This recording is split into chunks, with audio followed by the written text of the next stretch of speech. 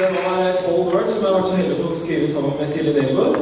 Eh, Den neste sangen som jeg skal synge for dere nå, den har jeg skrevet sammen med Knut Bjørnar Assevold, som sitter der står eh, på gitar i midten der sånn. Eh, Ja,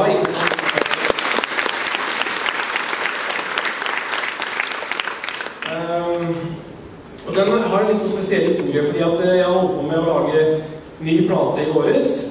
Eh, og eh, samtidig så mista jeg min gode venn og mentor Anders Wangen. Eh, midt oppi alt dette her. Og da var musikken en fin venn å ha. Eh, og den sangen her kom på en måte til oss som en sånn eh, gave.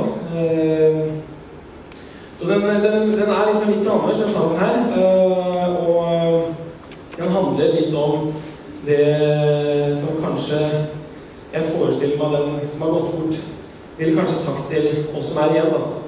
Had er The Journey Song.